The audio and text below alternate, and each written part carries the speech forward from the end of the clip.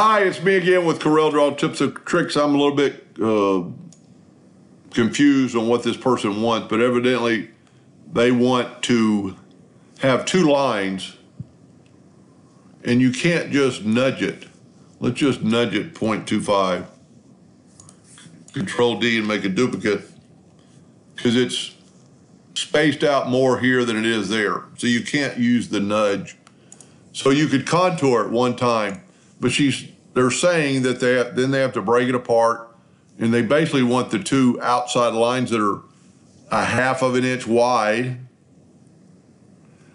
And you could do this, but there's actually a lot easier way to do this. Take your line and go to your pen tool and change your, I always use points, change it to inches and make it 0.5 wide. Change that to an object, convert it to an object. Left click, right click, now you have two lines. Now, if you do not want those ends, go up to object and we'll tell you what, we're going to have to select it all. Well, maybe we don't have to do anything. Let's just grab the shape tool yeah, we didn't have to do anything. It's already a, a curve. And this is a pretty good trick.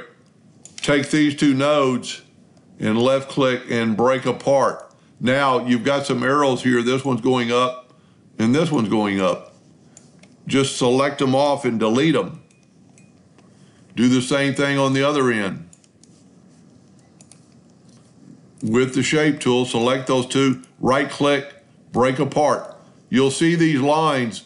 This one is for that line, and this one is for this line. So just take these two lines and move them away and select them and hit delete.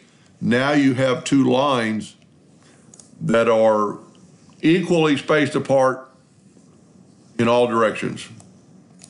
I truly hope that is what they were asking, and thank you for watching.